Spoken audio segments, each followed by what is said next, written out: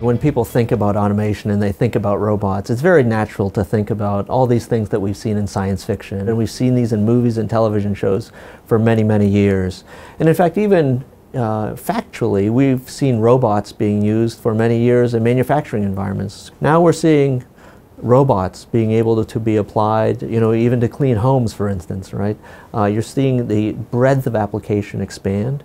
Uh, and that applies not only to physical work, but also to intellectual work as well. We now have machines that are looking at, for instance, more radiology scans than a radiologist will see in their entire lives.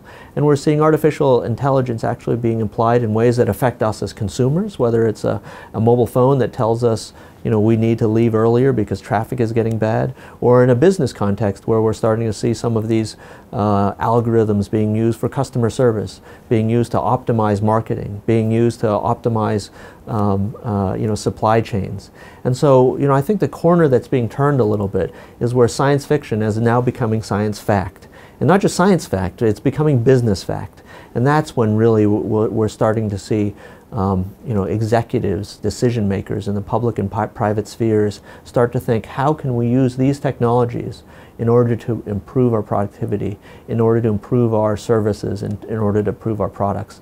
And that's really why, you know, no longer is this just something we see in the movies, but it's really starting to be something that we see in business. The right way to look at automation, the right way to look at the potential for automation is at the level of individual activities, not entire jobs. It's very rare, and we found in our research, you know, less than 5% of jobs can have all of their activities automated by adapting currently demonstrated technologies. Now, when you do look at individual activities, we looked at every single activity that we pay people to do in the economy. 45% of those could be automated by adapting currently demonstrated technologies, which is a remarkable number. But that doesn't mean that 45% of jobs right now can be completely automated.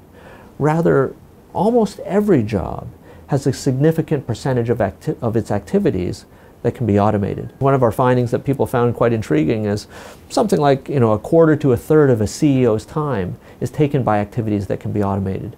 And if you talk to a CEO, um, you know, she usually is surprised at first and then says, you know what?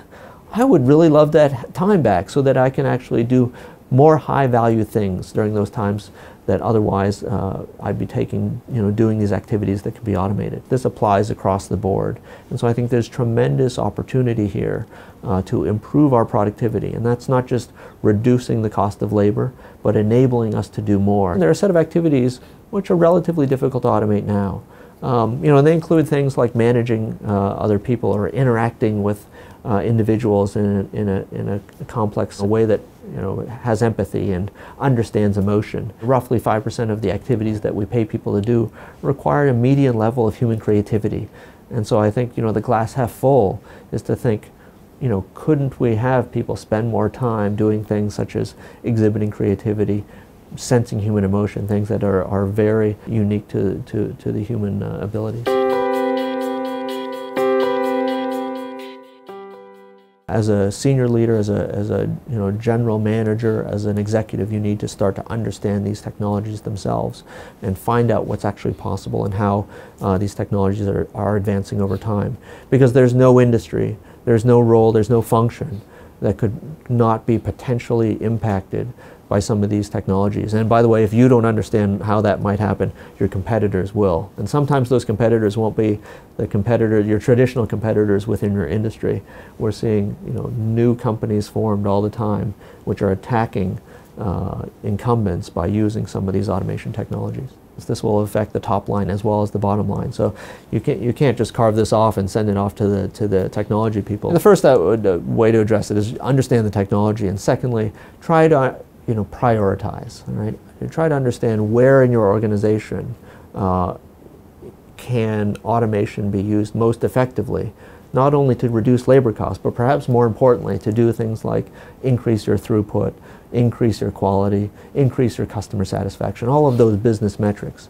Um, but when it does come to this process of understanding how to transform processes. This is something that people have been doing for many years. This is the hard work that managers and leaders need to do.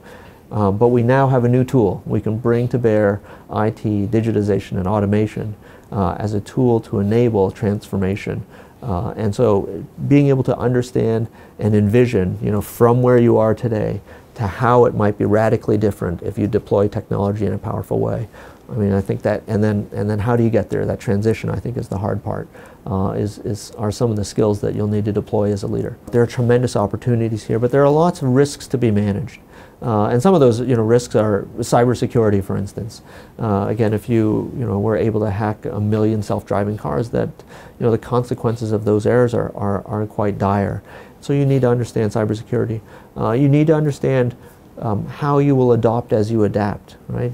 Individuals, people whose jobs will change. All of us, all of our jobs will change.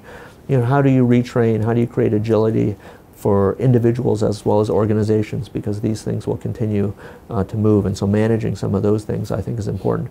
And then as a society, we'll have to think about things like inequality. We'll have to think about things like how do we retrain and how do we uh, create time and, and, and uh, the ability for people to adapt as these technologies uh, accelerate in their development.